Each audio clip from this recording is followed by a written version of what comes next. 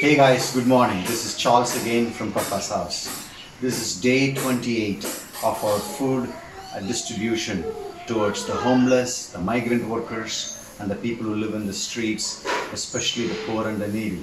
And every time when we go to the streets, this thought comes to my mind. Mother Teresa used to say this uh, when she used to get volunteers coming in her missions uh, to go and uh, serve the people. Uh, she would say, every time when she got a new volunteer, she would say, Today I thank God for new pair of feet and new pair of hands to serve the Lord to the homeless. And uh, that's what we are facing today.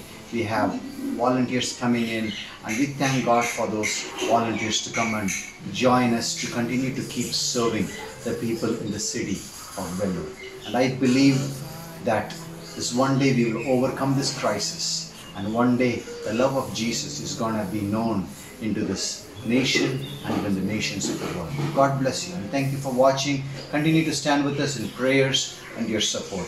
We love you. Shalom. All of a sudden, I'm unaware of these afflictions eclipsed by glory. And I realize just how beautiful you are